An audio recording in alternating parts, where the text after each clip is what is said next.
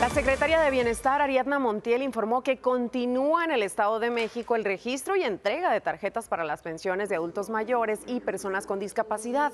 Más de un millón de adultos mayores están registrados en este padrón, junto a más de 88 mil personas con discapacidad, quienes van a cobrar su pensión en la modalidad bancaria. La finalidad de esto es bancarizar al 100% estos dos programas y se prevé que el Banco del Bienestar cuente con 230 sucursales en el Estado de México.